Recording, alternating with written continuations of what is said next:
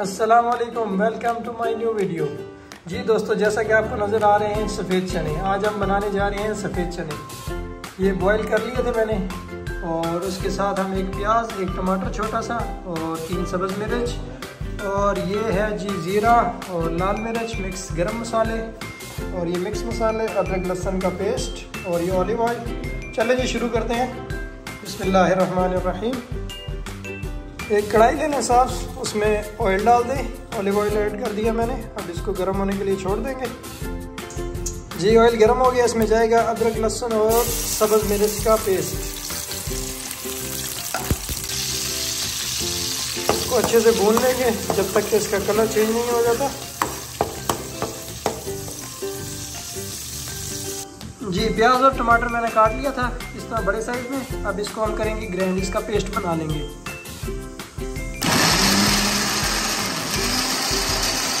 यहाँ पे ऐड करेंगे कि मिक्स गरम मसाले। और ये रहा ज़ीरा। जी, ये देखें, इसका कलर चेंज हो गया है। अब इसमें जाएगा ये पेस्ट टमाटो और ओनियन का पेस्ट इसको अच्छे से मिक्स कर लेंगे और इसका भी पानी खुशक होने देंगे।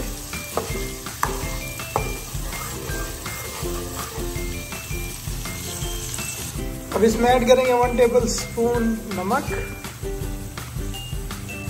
हाफ़ टेबल स्पून हल्दी का जाएगा। वन टेबल स्पून लाल मिर्च। हाफ़ टेबल स्पून मिक्स गरम मसाला। और हाफ़ टेबल स्पून जाएगा चिकन मसाला। मसाला बिल्कुल रेडी हो गया हमारा। अब इसके अंदर ऐड करेंगे हम चने। चनों को पानी का समेत इसके अंदर ऐड कर देंगे, जिससे इसकी ग्रेवी बहुत अच्छी बनेगी। और इसको अच्छे से पका लेंगे हम। यहाँ पे हम लगाएँगे इसको, ढक देंगे, ऊपर से कवर कर लेंगे पाँच दस मिनट के लिए। फिर उसके बाद हम चेक चेक करेंगे लो फ्लेम पे। जी, बिस्मिल्लाहिर्रहमानिर्रहीम, ढक्कन उठाने लगे हैं। जी ये माशाल्लाह से ये देखें, कितना प्यारा कलर आ रहा है इतनी प्यारी खुशबू आ रही है। हमारे चने बिल्कुल रेडी हो गए